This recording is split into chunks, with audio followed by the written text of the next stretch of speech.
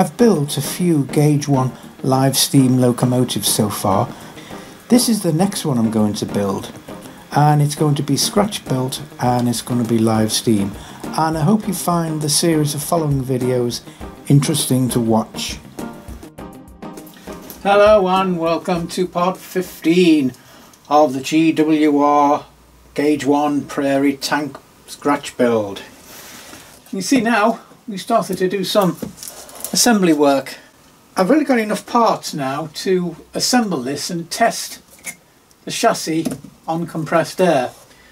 So as you can see I've started to assemble the chassis again. I've just been working on one side for now and you can see there there's the valves and everything and I've also uh, putting in the gaskets as well and I'll just show you how this valve works uh, one of the things I discovered and again from the drawings on the on this pendulum mechanism that moves that moves this slide valve backward and forwards I discovered that the actual spacing for the holes was a little bit too much uh, because I couldn't quite get the slide valve distancing right to open and close the ports. I'll show you what I mean. Set up on the uh, rolling road and hopefully show you what's going on. I think the camera can just see that little port, front steam port exposed.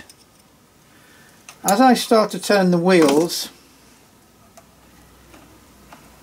by the eccentrics, you see now that steam port is covered and as we start to turn these eccentrics turn and the camera's probably not picked that up can't, probably can't see that too well it's actually open now the other steam port the other side of the piston. So that's how it works and this is how I mentioned this is a very clever idea this eccentric cam the way it works and you can see it working there. They've closed the port. Open the other port. And you set this up with the piston going backwards and forwards. So for example that's fully open now and the piston is right down this end of the cylinder. So as the wheels start to turn, it closes this exhaust, starts to close this exhaust port, which is what it's done now, and also the piston is ready to return the other way. So as the wheels start to turn, it's just opened that port. So that gives it steam on the other side of the piston to send the piston forward and that's basically how it all works so initially also you can see that I've only put one piston on at the moment and the reason for that is just to work one at a time. So if we get one working I know this one's right then I can concentrate on getting the other one right rather than having the two on and fiddle with both of them and wondering which one's not working properly. Is it this one? Is it that one? So I always find with twin cylinders I work on one cylinder at a time. So what I'll do now is we'll just carry on now and close this off and put the cover on with the gasket.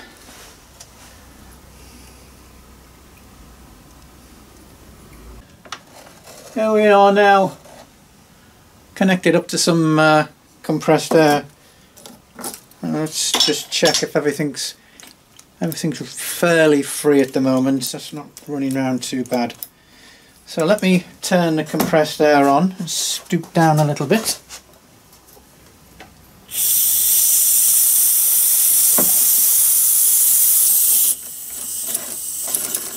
Oh, there we go. Almost. Yes.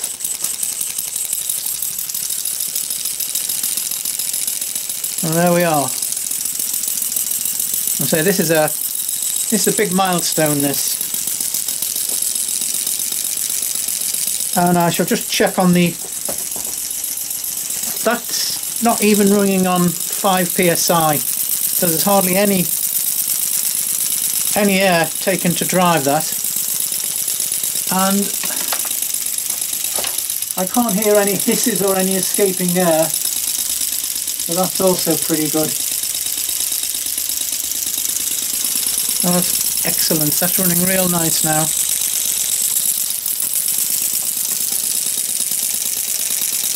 fact that's probably running far faster than it will ever go on the track so let me wind the um, gas down a little bit, the pressure down, a little bit more like the scale speed it'll run at.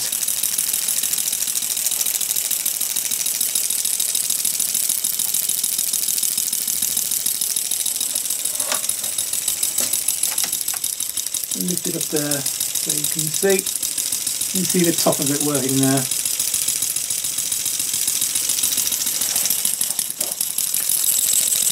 Also you can see that move on here, you see this pendulum arrangement working off the eccentric.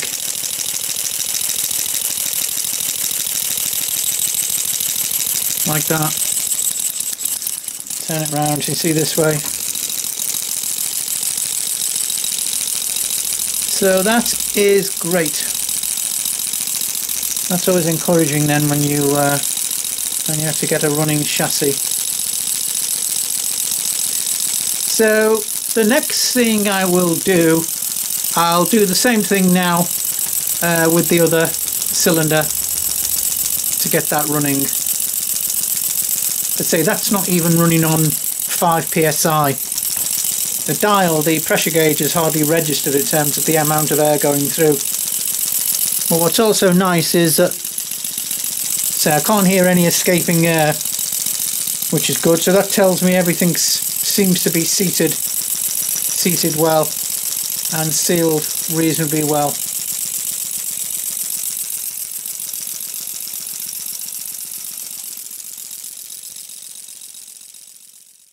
So I went through the same process for the left hand cylinder as I did for that, this one. Set up the linkage, just set the timing so both the valves are, uh, both the ports are exposed at the right time and just show you this one now. Now interestingly with this one, but I can just hear a slight a slight escape of air. And I suspect that is probably just down to the uh, valve not running properly. Probably needs lapping. But as you can see it runs pretty smooth and again that's not even running on five pounds per square inch. That's far faster than it will ever run when it's on the track. I mean even then you imagine that on the track that's quite fast. But uh, that escaping sound has gone now. So as I say I suspect it was just the valve uh, not quite seated properly yet. So we've got both cylinders and the timing correct on them now. Um, so I can just really, what I will do is just really test them both together. I'll put the union on here and put the other piston back on, but I know now the both cylinders, uh, the timing and the valves are in the right position, so there's a pretty good chance that will run quite smoothly. Okay, there we are now, running very nicely on compressed air and as I say that's not even running on five pounds per square inch. There's about it's only about three pounds. I've only just opened the regulator on the compressed air. But as you can see that is running really nice. That's running really smoothly. So I should just let this run for a few minutes just to settle down just to let the valves bed in and see if everything else is tight. So I'll run this for at least half an hour and uh, give this chance to bed in.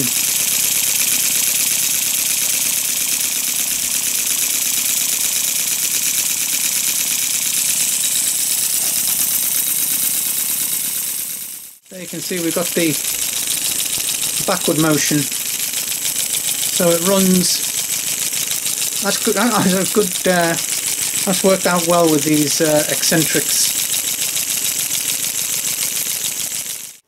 Uh, I'm not sure whether the camera's picking that up, but as I'm turning it forward, this little cam here with the pin on have moved round. Has now changed the position of the timing now so the direction I'm turning it which is forward now you see now it's running forward. So say this slip eccentric is a very simple idea and it works really well on this gauge